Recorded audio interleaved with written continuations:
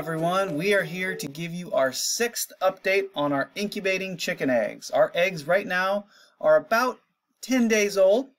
And uh, today we're going to talk to you about what we're going to do to take care of these chickens when they actually hatch. And we're also going to show you another video of us trying to candle a couple eggs to show you what's going on inside of our eggs. Yeah. All right, here we go. Even though we're a few weeks away from actually having our baby chicks here, it's never too early to start thinking about how are we going to take care of them. So we actually already have everything that we need to be able to do that. We have never incubated eggs before, but we have had chickens on our farm before, so we already had all the things that we needed to take care of baby chicks. So let's talk about a few of those things. In an earlier video, I showed you some of the chicken feed that we bought um, to be ready for when these eggs hatch. Now you'll notice this feed says it's medicated. So let's talk a little bit about why we're buying medicated feed. There is a really common disease that baby chicks can get called coccidiosis. And this is caused by a parasite that lives in the soil. And it's very easy for baby chicks to get it. So there's two ways to help these chicks develop an immunity to this parasite. One way is that if you buy baby chicks from a hatchery, they can vaccinate them so that they already have built up immunity to coccidiosis. Since we're hatching our chicks ourselves, we can't do that, and so we're buying medicated feed. And what this does is it helps the chickens stay healthier. It controls that parasite so that they can develop an immunity when they're young, and then by the time they're full grown, they've developed an immunity and they're safe. So we're trying to keep them from getting sick and maybe dying by not medicating them uh, in the early part of their life. All right, so this is just going to help control that uh, that parasite so that they can develop immunity in the first about 18 weeks of their life. By the 20th week, roughly, uh, these chickens will be fully grown and should start laying eggs. All right. Another thing I want to point out is that chicken feed is really complex because just like we need lots of nutrients and minerals in our diet to stay healthy, chickens need the same thing.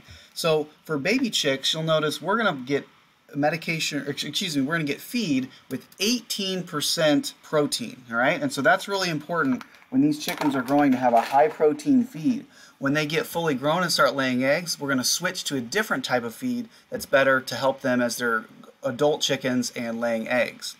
The other thing that's interesting is that chickens need 38 different nutrients uh, to be healthy. And so when you buy good chicken feed, it's got all the nutrients that they need in order to be healthy and, uh, and get off to a good start in life. So that's our feed. Other things that we have ready to go.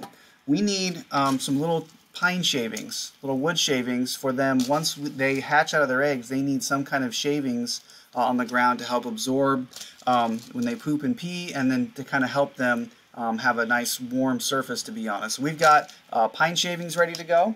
We also have waterers and feeders. Now, the ones we use when chickens are small are a little different than the ones we use when they're bigger.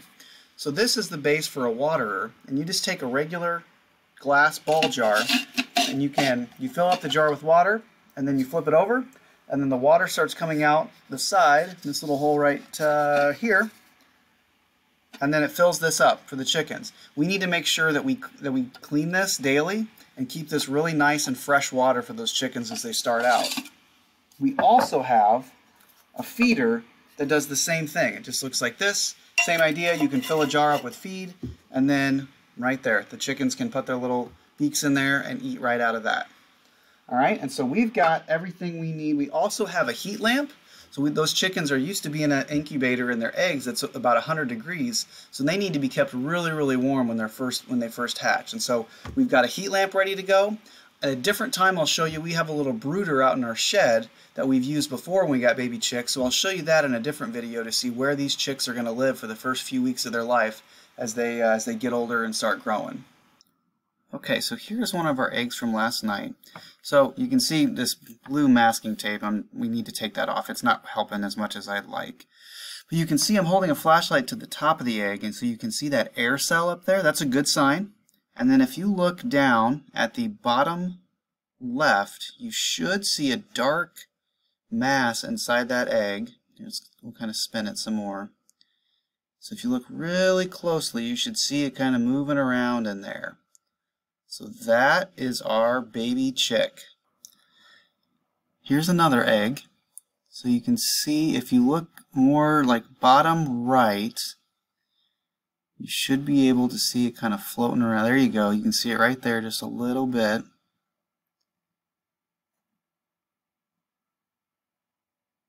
And then you can also see when I hold the flashlight up here, you can see another good looking air cell at the top of the egg there.